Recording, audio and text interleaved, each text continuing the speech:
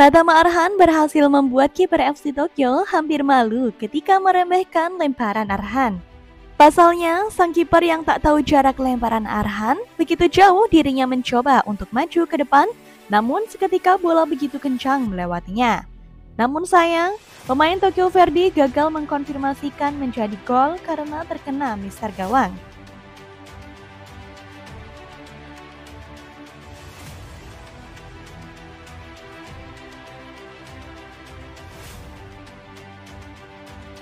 Hal ini sempat membuat malu kiper FC Tokyo jika bola itu masuk. Pastinya ini akan jadi pukulan bagi kiper FC Tokyo.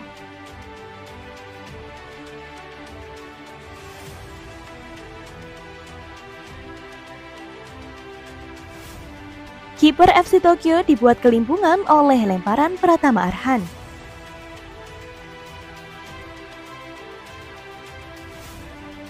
Pasalnya, beberapa kali kiper FC Tokyo dibuat hampir memungut bolanya dari gawangnya sendiri. Seusai pertandingan, kiper FC Tokyo memberikan pujian ke Pratama Arhan yang bisa melempar sangat jauh.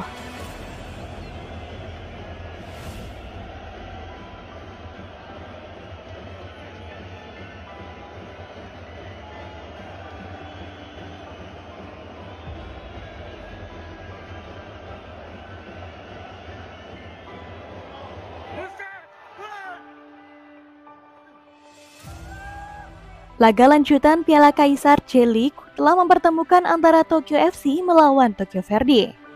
Seperti yang kita ketahui, Tokyo Verdy adalah klub yang dibela Pratama Arhan untuk saat ini.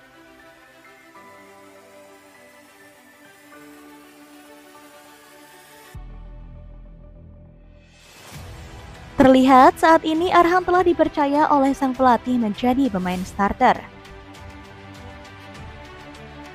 Arhan didapuk untuk mengisi sayap kiri tim Tokyo Verdy. Kesempatan itu tak disia-siakan oleh Pratam Arhan. Ia mampu tampil cemerlang untuk menjaga pertahanan dan terus fokus membantu pola serangan Tokyo Verdy.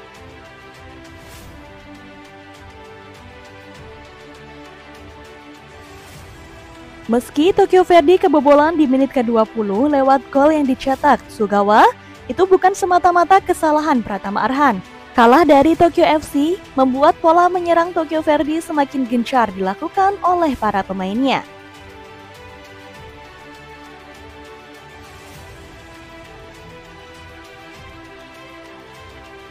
Pratama Arhan berkali-kali membahayakan gawang Tokyo FC dengan lemparan kerasnya.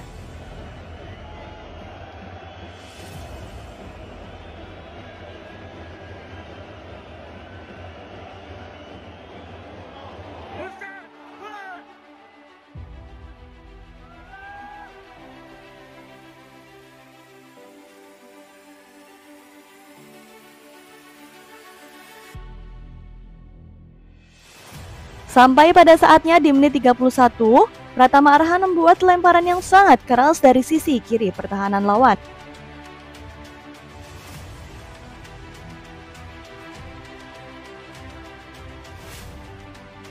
Lemparan ke dalam Arhan membuat kiper dan pemain bertahan Tokyo FC terperangah sesaat dan membuat kelabakan. Pasalnya, lemparannya mampu membentur tiang gawang cukup keras dan membuat ribon.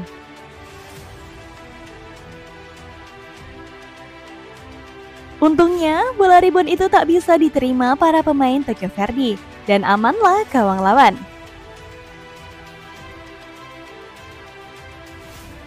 Lepas turun minum, pelatih Tokyo Verdy masih percaya dengan gaya bermain Arhan. Ia masih dipercaya menjaga sisi kiri pertahanan Tokyo Verdy. Dengan solidnya pertahanan Tokyo Verdy, akhirnya serangan pun bisa dilakukan lebih percaya diri. Jadi menurut kalian gimana nih dengan penampilan Arhan di laga ini gengs? Yuk berikan pendapat kalian di kolom komentar.